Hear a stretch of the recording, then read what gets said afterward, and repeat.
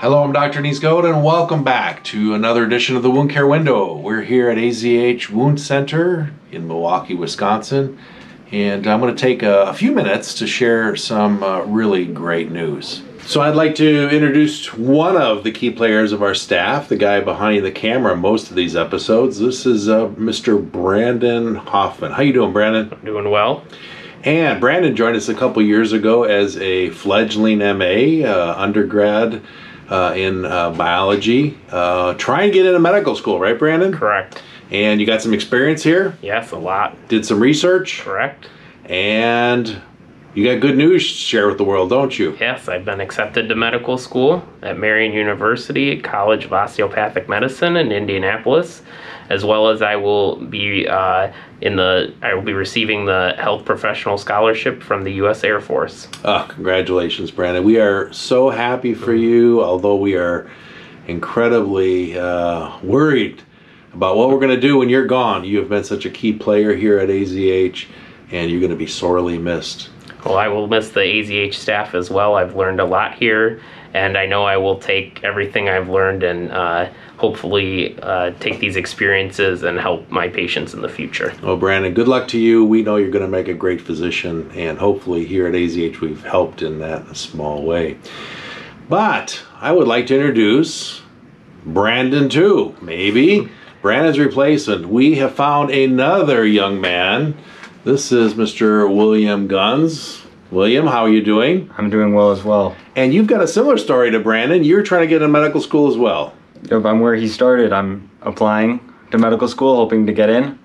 And um, And this is your orientation day, first day at AZH. correct, correct. and uh, you're going to be heading down the same path and i thought hopefully we'll have good news to share regarding your acceptance into medical school in the very near future Hopefully.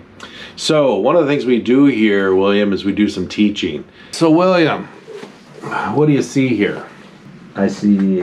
I don't see any open. It's a closed wound, right? yeah is this normal or abnormal It looks too yellow. Abnormal. abnormal that's a lot of callus there so this young lady has been in the clinic a few times for the management of a diabetic foot ulcer and uh, these ulcers tend to heal over and form some callus and uh, that's a concern uh, when you have this much callus uh, that's typically a problem for diabetics um, so what do you think about this area here is this more red than you might want to see it Yes. yeah.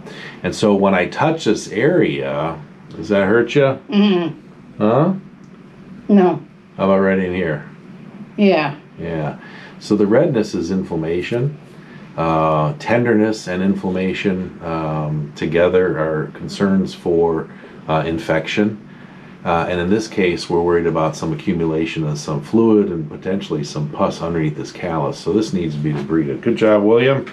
Well, that's starting your education here at AZH.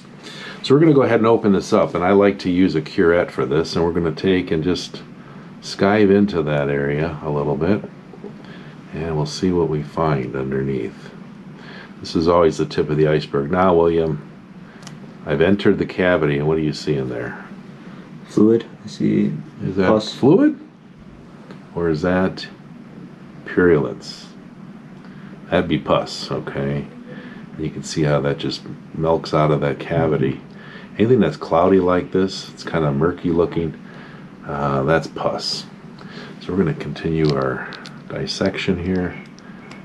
And what you're going to see is once we unroof it, get rid of the callus, in fact, she has a little cavity underneath here. See that?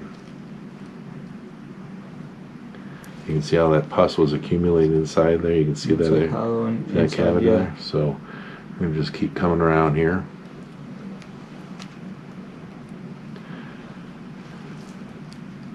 Take that callus all down. His curettes work really well. His rakes. Brandon's been learning some debridement here over the last year and a half or so, and he's been helpful in that, and we'll get you there as well, William. So that when you do enter medical school, you're going to be ahead of the head of the power curve, right, Brandon? Yeah. So we've debrided, and if we look here, you can see the ulcer cavity. See where that pus was accumulating inside there, William? Mm-hmm. And the good thing is here is that we caught it early.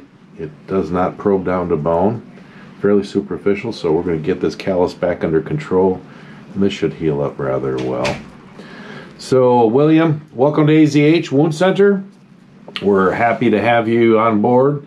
Brandon, again, Godspeed, good luck, and uh, we wish you all the best. Thanks for joining us on another edition of the Wound Care Window.